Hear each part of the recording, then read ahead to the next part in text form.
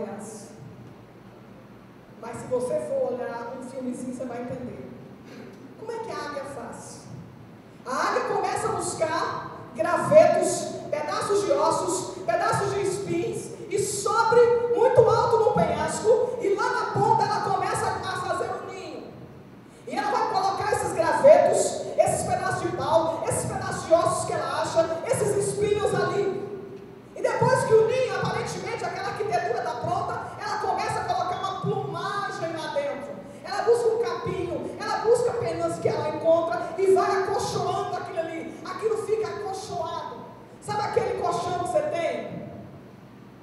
De pato. Como é que é o nome daquele aquele colchão? De ganso. É, pato não, é ganso. É mais ou menos assim. Ele faz aquele colchão maravilhoso. Ela põe seus ovos, choca seus filhotes e deixa os menininhos lá dentro. E os menininhos vão ficando lá dentro, cercado, cuidado, amado, como a menina dos olhos. Mas chega um dia que os meninos têm que voar. Por que, que os meninos têm que voar? Porque as asas deles crescem e não cabem mais no ninho.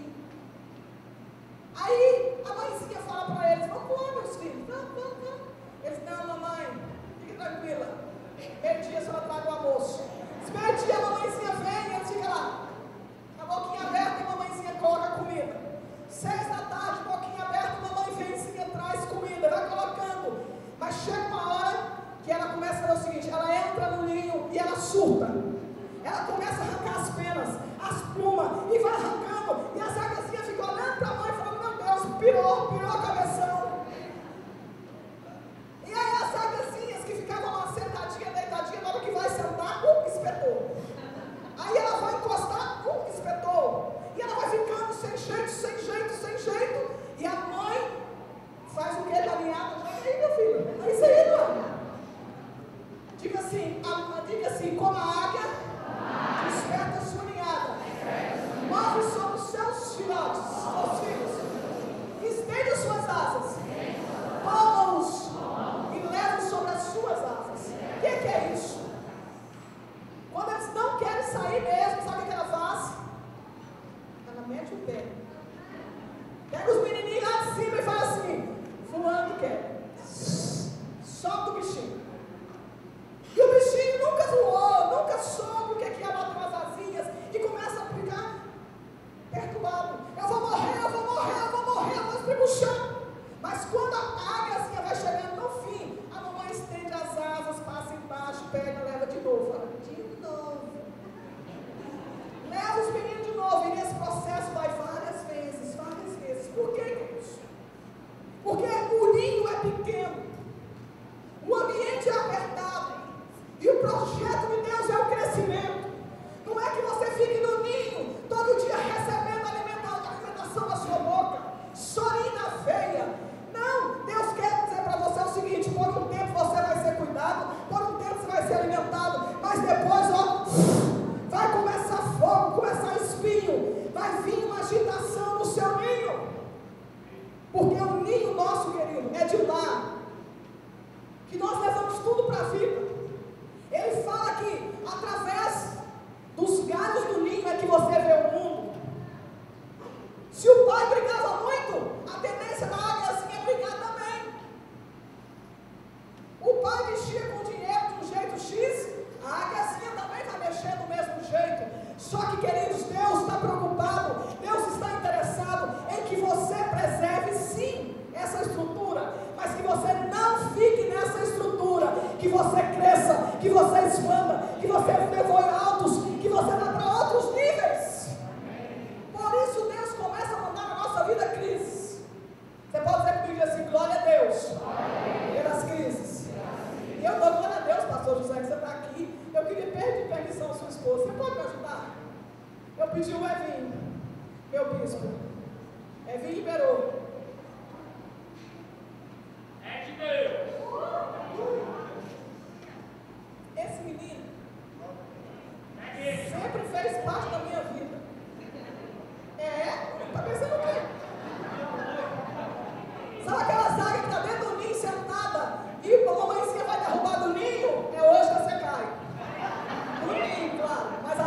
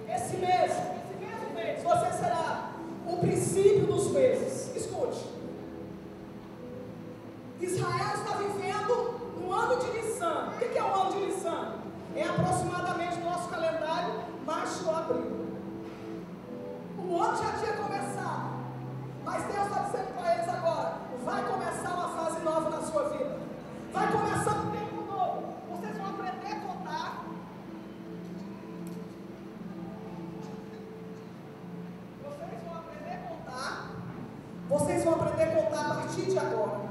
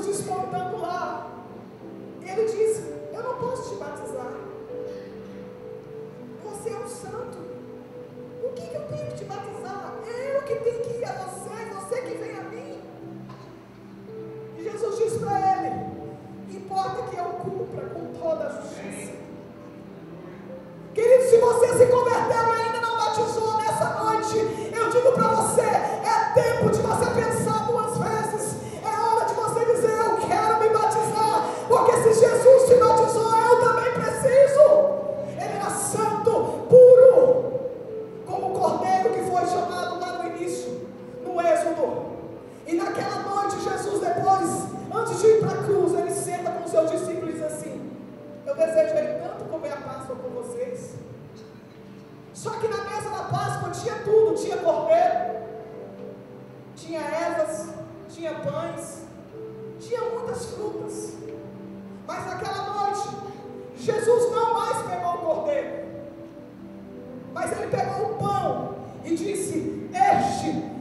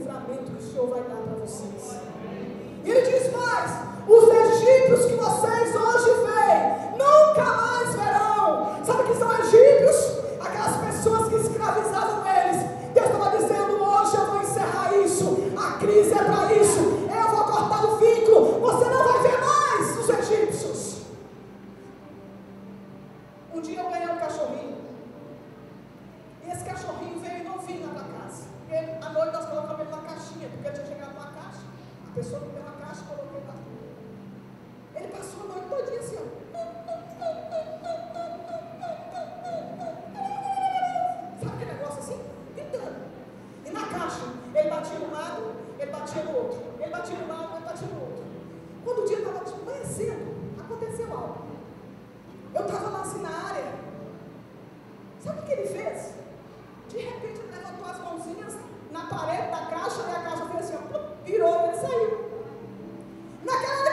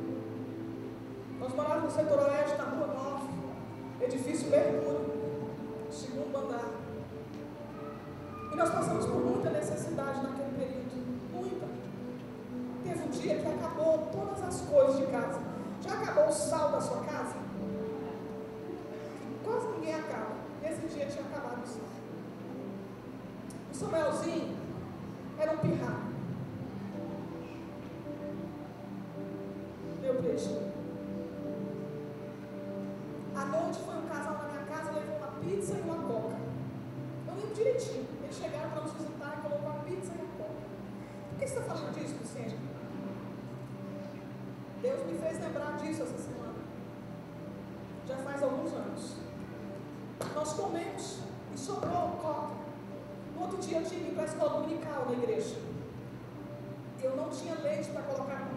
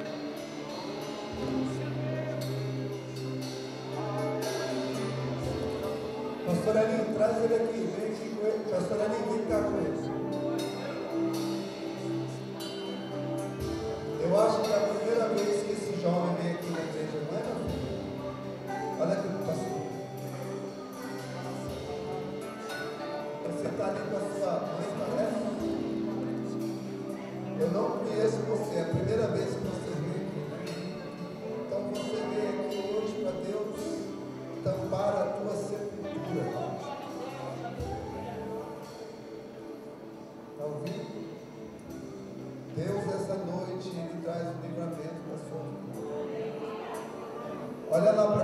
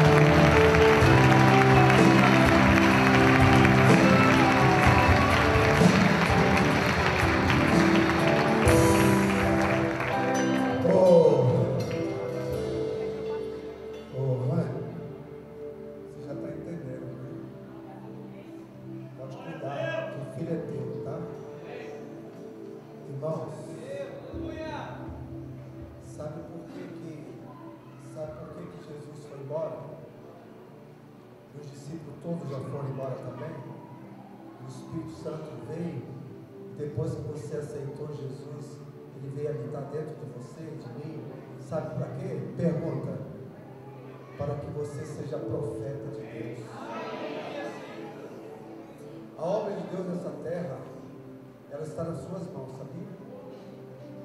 Está nas nossas mãos.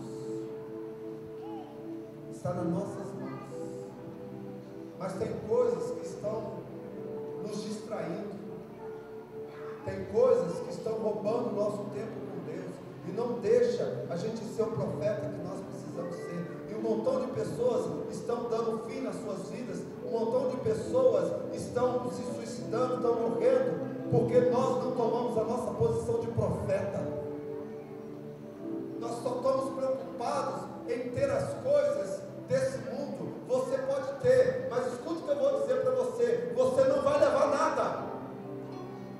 As pessoas vão sim para o Senhor.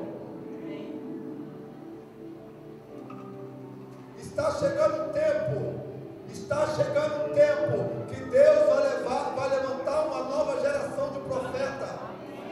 E muitas vezes vai ser através da sua dificuldade, das suas crises, dos seus problemas, que Deus vai te levantar. Agora nós precisamos entender. Nós precisamos entender o que Deus quer de mim, e de você. Porque Deus não sustenta o sol.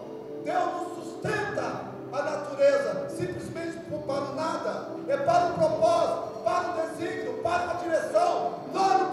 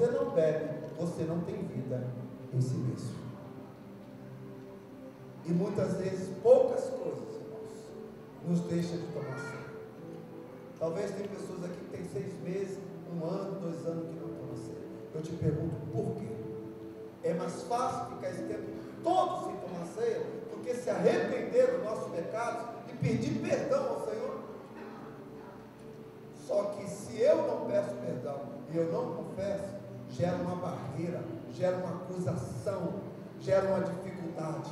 E aí eu vou enfraquecendo. A minha fé vai enfraquecendo. Daqui a pouco eu estou desanimado na igreja. Eu estou desanimado de ler a Bíblia, de orar. Isso é a vida que você precisa ter em Jesus para que essas coisas não faltem nem na sua e nem na minha vida. Tem pessoas aqui, irmãos, que estão em frangalhos. Estão em frangalhos. Eu pergunto para você, como que isso vai ser, vai se arrumar? Quando você comer e quando você beber de Jesus. A resposta para a sua crise, a resposta para a sua dificuldade, só tem uma: Jesus de Nazaré. Ele é único. E nesse momento eu quero fazer uma oração. Se você pecou, se você não tem tomado ceia, eu não sei por qual motivo, não tem nada que após você se arrepender, confessar, pode prevalecer mais sobre a sua vida.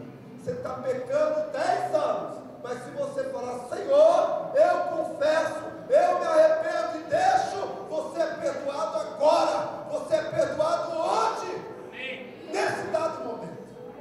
Eu quero que você baixe a sua cabeça agora, em nome de Jesus. Caminho para todas as coisas. Jesus é esse caminho. Se você pecou, confesse o seu pecado. Se você está arrependido, diga que está arrependido.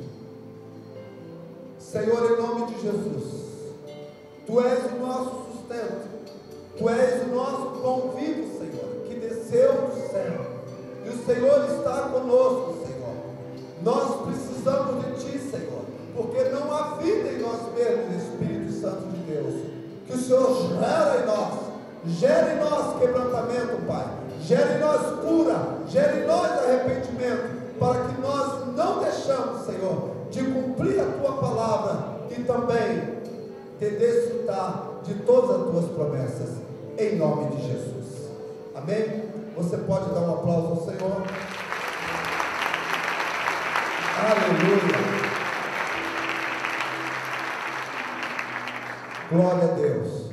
Queridos, nesse momento da nossa ceia, nós, eu e a Luciana, a gente conversa muito sobre isso, as questões das, pessoas terem necessidade de cumprir aquilo que Jesus ensina.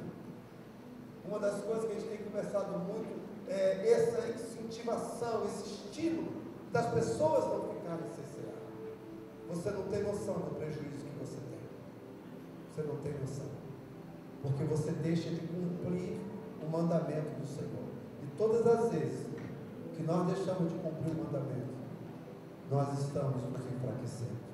Então, nesse momento que nós oramos juntos, nós queremos convidar vocês. Nós temos a mesa aqui do lado esquerdo. Eu quero pedir os irmãos que pegarem aqui do lado esquerdo, ver se você consegue. O nosso espaço é o que nós temos, então nós temos que nos adaptar.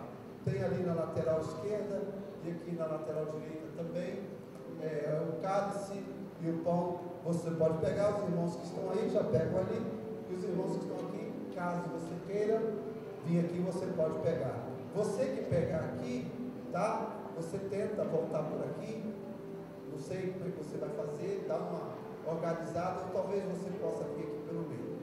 O certo é que eu quero que todos participem tranquilamente, sem correria, sem problema, porque esse é um momento maravilhoso para nossas vidas. Amém? Enquanto o ministério de louvor vai adorar ao Senhor, eu quero que você saia do seu lugar, pega o seu pão, pega o seu cálice. Eu quero pedir, eu quero pedir os, o, as pastoras, os obreiros, pega o cálice, pega o, o pão, fica aqui na frente para facilitar também. Aqui do outro lado.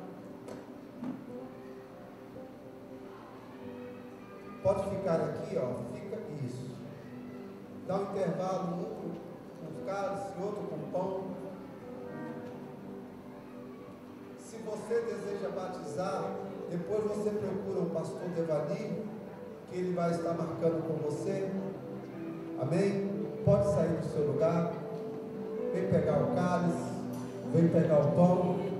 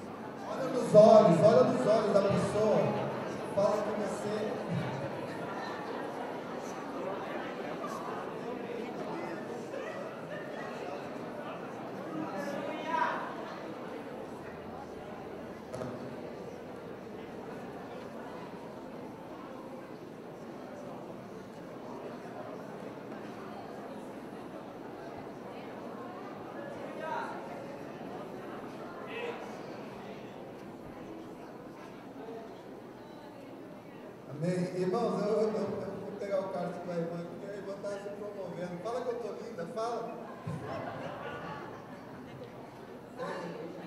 Cavalo aliado passa uma vez só, né?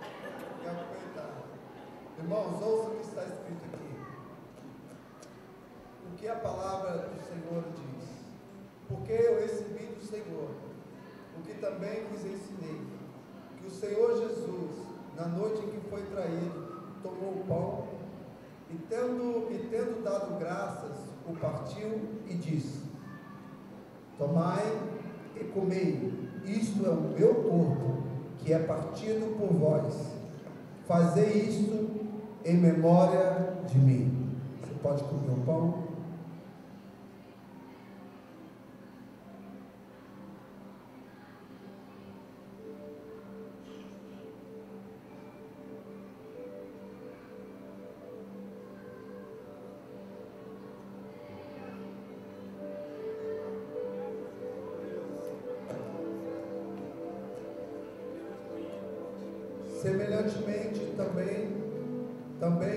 De ter de cear, tomou o cálice, dizendo: Este cálice é o novo testamento no meu sangue.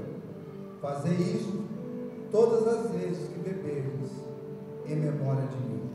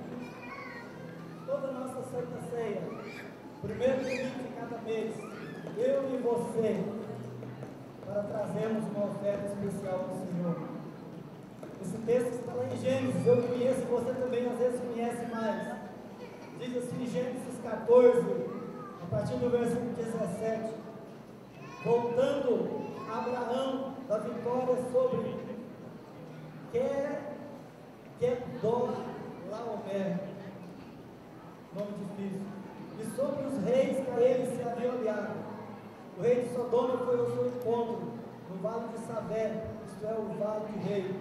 Então Melquisedeque, rei de Salém, que seria mesmo de Jerusalém, e sacerdote do Deus Altíssimo, trouxe pão e vinho e abençoou Abraão, dizendo: Bendito seja Abraão pelo Deus Altíssimo, Criador dos céus e da terra, e bendito seja o Deus Altíssimo, que entregou seus inimigos em suas mãos.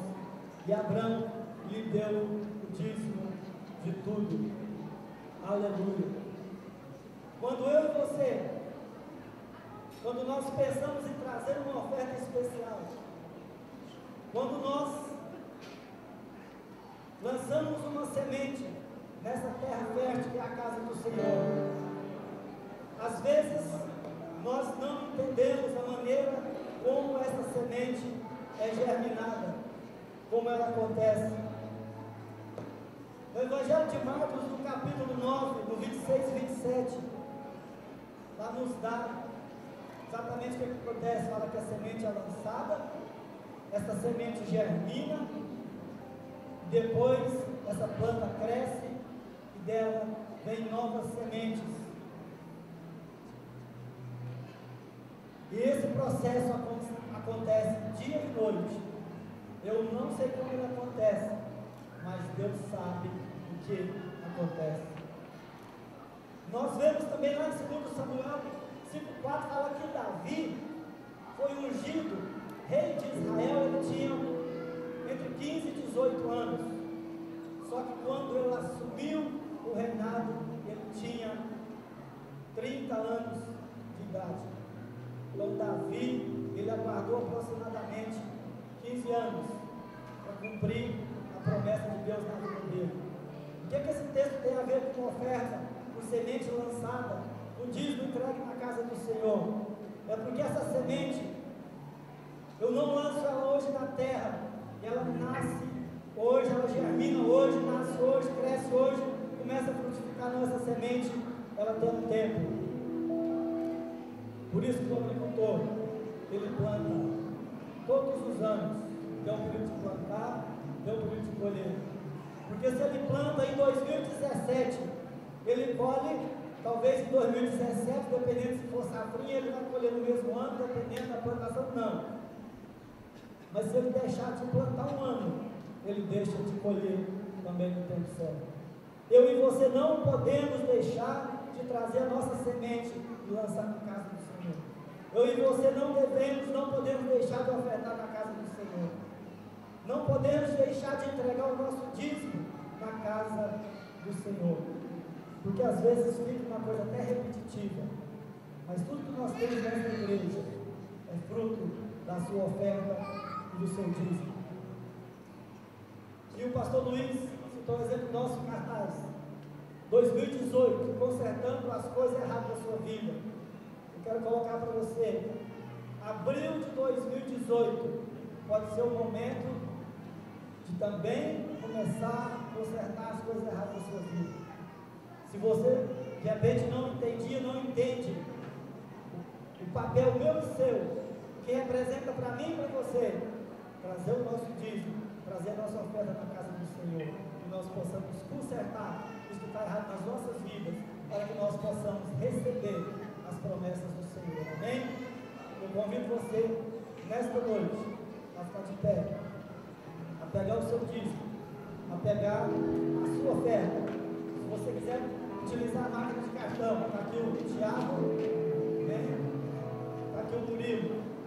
Que você saia do seu lugar, saia com alegria, saia com convicção que Deus é na sua vida. Amém?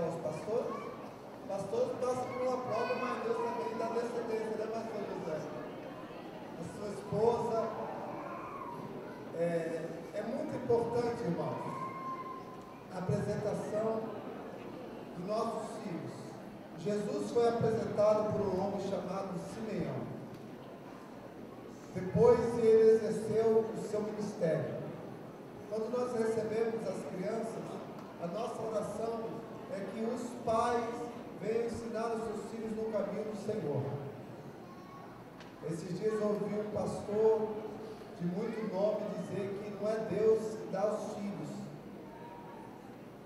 Esquisito isso, né? Porque a Bíblia diz que nossos filhos são herança do Senhor.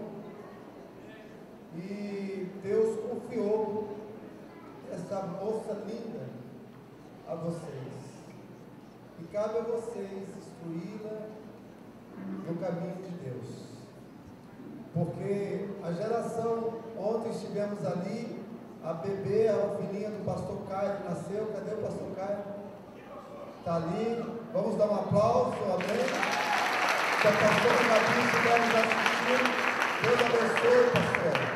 Deus abençoe. Eu estava vendo ali, tinha mais ou menos seis a oito crianças. Eu, eu estava pensando, se todas aquelas crianças forem instruídas no caminho da palavra de Deus, a geração delas será muito melhor. E hoje nós estamos aqui.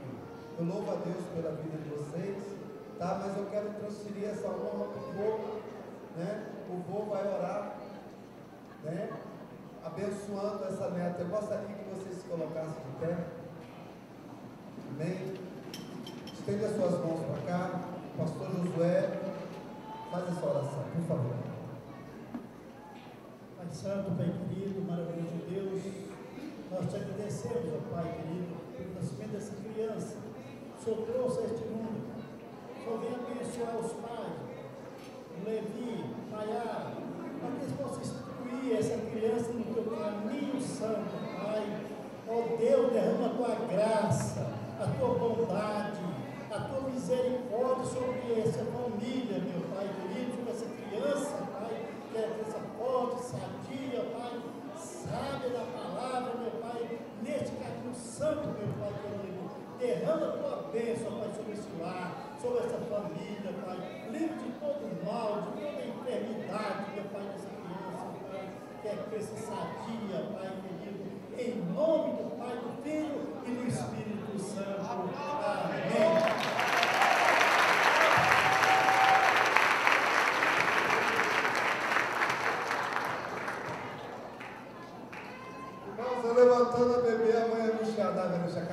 Ai, minha filha, ai. Que bênção. Aceita agora. Nós vamos ter a apresentação dos nossos filhos. Podem trazer as crianças. As crianças podem vir. Podem vir, por favor. Enquanto as crianças se organizam, irmãos, nós tivemos um culto aqui na última quinta-feira de busca do Espírito Santo poderosa. Quem esteve aqui quinta-feira? Olha aí quantas pessoas, irmãos do céu. O fogo desceu aqui e o negócio foi profundo, hein? Então ouça, toda última quinta-feira do mês nós temos esse culto, a busca do Espírito Santo. É, nas primeiras quinta-feiras, as três primeiras quinta-feiras, nós estaremos estudando agora um novo livro da Bíblia, o livro de Provérbios, o livro da sabedoria. Então eu quero convidar você a estar aqui na quinta-feira, às 20 horas. E também acontecerá na segunda, na terça, na quarta, na sexta, os nossos pequenos grupos. A nossa cidade está cheia desses pequenos grupos. Nos grupos, nós vamos estar meditando, estudando, passando para os líderes um esqueleto sobre o que é família. Então você que estiver visitando o grupo, você vai ouvir sobre família. E aqui na quinta-feira à noite, nós vamos estar estudando o livro de Provérbios. Amém? Mas quanta criança. Cadê os pais dessas crianças? Dê um sinal para mão. Ah, agora você vê ela, ó. Que bênção, irmãos. A, a Gabriela e a sua equipe têm feito um trabalho maravilhoso no Ministério Infantil. Os pais ficam à vontade para tirar foto, para filmar, tá bom? Pode vir aqui, fique à vontade.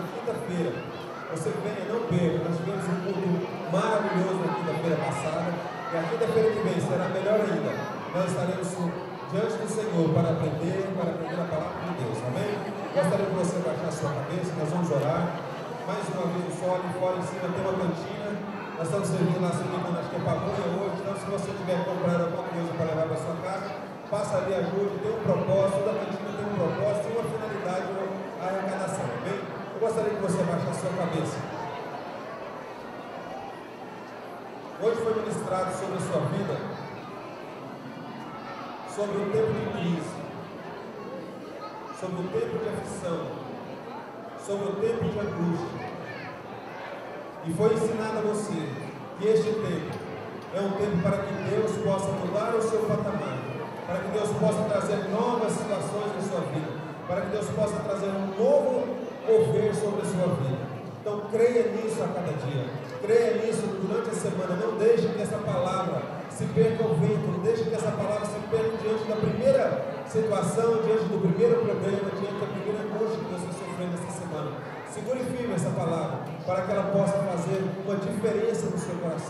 Eu sempre oro aqui para que a palavra seja, para que a palavra gere vida, para que a palavra gere transformação na sua vida. E ela veio aqui, ela esteve aqui falando, a pastora, foi justamente para isso, para que ela gerasse essa transformação no seu coração. Eu gostaria que você abaixasse a cabeça, nós vamos orar. Pai amado, muito obrigado pela tua graça, pela tua bênção, Deus.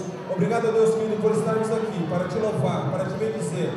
Ó Deus querido, obrigado porque o Senhor traz uma palavra, ó Deus, que vem de encontro à nossa necessidade e vem de encontro a Deus aquilo que nós precisamos, Senhor. Pai, em nome de Jesus eu te peço que este mesmo Espírito ministre ao coração de cada um, ó Pai, no decorrer de hoje, nesta noite, nessa semana que está chegando, ó Pai, e que essa palavra não se perca ao vento, mas que ela possa gerar o fruto necessário naquilo que ela foi pregada, naquilo que ela foi ministrada sobre as nossas vidas, e que agora, com o amor de Deus Pai, a graça eterna ao Senhor Jesus Cristo, e a comunhão e a consolação do Espírito Santo, esteja sobre a vida de cada um, hoje, amanhã e para todos sempre. E aqueles que concordam e creem que Jesus Cristo ressuscitou dos mortos para nos salvar, dizem: Amém. Aleluia. Vai para sua casa, em nome de Jesus, que o Senhor possa te abençoar.